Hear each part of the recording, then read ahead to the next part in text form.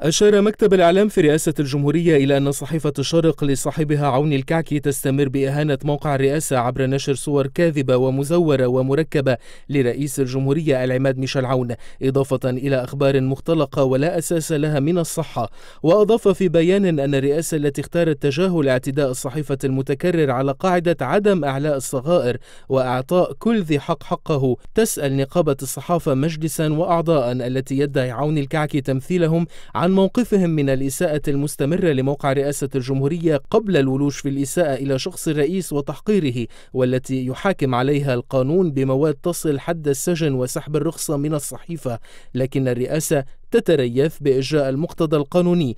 أولا لقطع الطريق أمام مدعي الصحافة لعب دور الضحية تحت شعار حرية الرأي والإعلام. وثانيا للإفساح في المجال أمام الشرفاء في هذه المهنة والنقابة لأخذ الموقف الأخلاقي الذي يمليه عليهم ضميرهم المهني والوطني. وتابع البيان أن إمعان عون الكعكي في تقصد إهانة رئاسة الجمهورية عبر التشويه والتزوير ووضع الصور المهينة والمركبة في خانة الخبر وعلى الصفحة الأولى. من دون التلاطي حتى خلف خانة الخبر الساخر أو الكاريكاتير يؤكد المؤكد وهو أنه دخيل على مهنة ونقابة قدم العديد من أعضائها دما في سبيل رقي المهنة ورسالتها.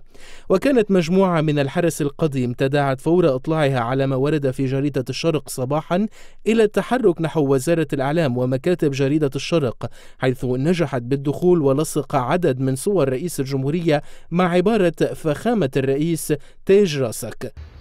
هذا تاج راسكم. هاي بدلة الشرف كان لبسها وأكد المشاركون أنهم يحترمون حرية الإعلام ويقدسونها أما حرية الشتيمة فلم تعد مقبولة.